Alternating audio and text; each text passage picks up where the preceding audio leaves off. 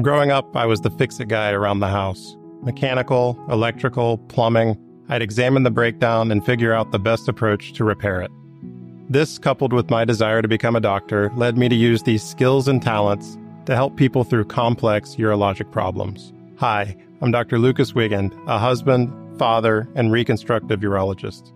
You could say I fix the pipes by surgically addressing plumbing issues involving the urinary system, whether damaged or blocked, complex cancer involvement, rerouting the urinary tract, or any number of unique challenges.